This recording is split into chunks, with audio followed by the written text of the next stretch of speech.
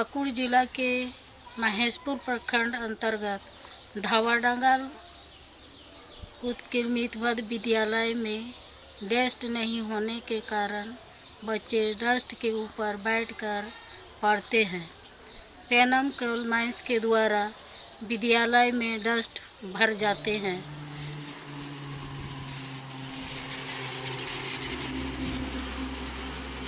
दीदी, आपका विद्यालय में कितना बच्चे सब हैं। कुल मिला के एक सौ उनतीस। अच्छा। प्रतिदिन बच्चे का उपस्थिति उतना ही होते हैं? बहुत कम रहते हैं उपस्थिति। किस कारण से? कई नंबर से जुड़ा हुआ है मेरा रोड। सब बच्चे लोग कोयला उतारते हैं कोयला बेचते हैं उसमें बहुत फ़ायदा होता है ये लोग को। गार्जियन सब अशिक्षित हैं। इसलिए बच्चों को नहीं भेजते हैं कोयला सब। गरीब बच्चा है इसलिए कोयला उतारता है बेचता है उसमें पैसा कमाता है। और आपका स्कूल से आपका पेनम रोड कितना दूर दूरी है? पचास मीटर। होगा कितना हो पचास मीटर होगा। बच्चा को बैठाते हैं यहाँ दरी में। बेंच डेस्क तो नहीं है हम लोग का। तीन चार साल से हम बहुत बार आवेदन भी दिए हैं।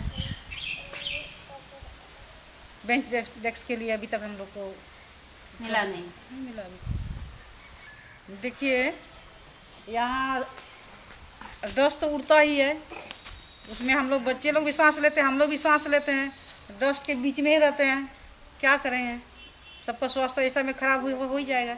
हम लोग चाहते हैं कि उस साइड में एक मैदान भी है।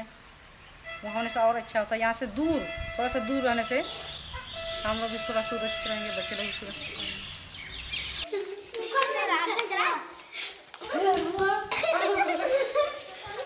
यहाँ के प्रधान अध्यापिका ने जिला एवं प्रखंड में कई बार लिखित सूचना दी है, लेकिन आज तक कोई सुनवाई नहीं हुई है।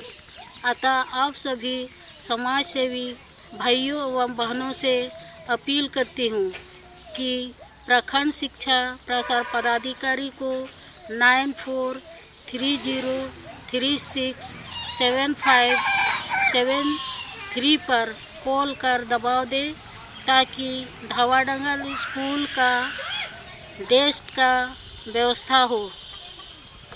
मैं हूँ एमेलिया, जिला पाकुड़, झारखंड, इंडिया अनहट के लिए।